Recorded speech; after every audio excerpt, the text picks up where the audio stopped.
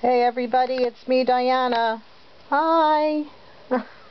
I'm here today to, to talk with you a little bit about eraser stamps and we're going I'm going to show you how to do these foam stamps. Um, there's some great tutorials on blogs around the internet for uh, hand carving these eraser stamps which are really excellent tutorials so I think there's enough of that out there, so I'm going to show you something a little different. By the way, I will put up the links for the tutorials on my website. I'm going to show you something a little bit different, and that is using this cheap, these cheap foam sheets that you get from the craft store. Um, they come in all different colors. Uh, this is just happens to be a red one. So the first thing you want to do is get your cheap craft sheet, gather a pen, pen pencil, scissors, a brayer, a rubber stamp, pad, and a piece of cardboard. Oh, and some double stick tape. Okay, so uh, all I did was draw directly onto the rubber stamp sheet. Forgive me, I only have one hand my other hand is holding my camera. Simple enough to draw onto the sheet, and it's very simple to cut. This stuff cuts really nicely. I've used this technique with kids' classes as well as adults. So you wind up here with, I cut out a little acorn. We're actually going to make this little acorn house. I just trim that out and lastly, you want to use a pencil to indent a pattern. And you just press with a dull pencil. It um, is probably best. And you can see, can you see the little dots I'm getting? And they just stay in the foam core. It's great stuff. Um, after you're finished, sorry about that, after you're finished uh, making your stamp, you take a just I have a black stamp pad here. It's Adirondack. You can use, use whatever you have handy. And tap it on there. Get your ink. Get it inked up. Rub it around, whatever it takes. Okay. And um, I'm going to show you a little different way that I have.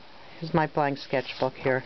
Um, I lay this stamp into my sketchbook um, behind the page and lay this down and then I'm going to brayer over. I think you get a better impression this way better than stamping in your regular way. Now look, here's the stamp here. I missed that part up there, but that's okay. But you can see those white spaces are where I pressed in with a pencil on the stamp. You can't really see it too well here. You can see a little bit. And you can always add more to these. So this is excellent. Oh, by the way, I stuck, I just stick the foam core, the foam stamp down with a little bit of double stick tape. I, I like to use this poster tape because it's not real sticky, it's not permanent. So that's way one, thing one to do. And don't forget, too, that this shape can be turned over and you can do a different, you, I could do a different little acorn house on this side of the shape. So it's really, really economical. Okay, the next thing I want to show you, also with the foam, is I cut out this, just a simple square. There's nothing big about that. A rounded square. And, sorry, I'm going to go ahead and ink that up. Same way. Bang, bang, bang, or whatever. Um, then, I'm taking a doily, one of those plastic doilies I have here, and I'm laying that right on top of the inked area and taking my brayer again actually I like to put the flat side of these doilies up. Ooh, boy, my hands are really inky. Okay. And just roll it over the top. And you're removing some of the some of the um, ink. I don't know if you can see that really well. Anyway, let's get another. If I wanted to put the stamp here, if I wanted to stamp the image here on my stamp pad, I would just turn the page, slide the stamp in wherever I want it, lay the paper down, and roll away here with my brayer. And there you have it. Can you see all that embossed area? You could also, it occurred to me as I was playing around with this for this video, that you could take um, something like, here's another, just a foam stamp that I have um, that I actually drew on too. I'm going to take the other side of that and I'm going to take this texture plate. This is a glue plate I glued over and then laid strings into the glue.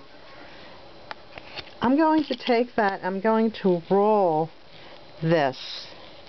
I think that embossed anything anything with a texture can be embossed right into these foam stamps. So let's just see what happens here. I don't know. This is this is live. I don't know what's going to happen. Hmm, I think I might have these are so quick and easy to to um, play with. You can do lots and lots of things. So let's just see what happens probably going to be one of those situations where, you know, nothing happens, but you could just do it this way.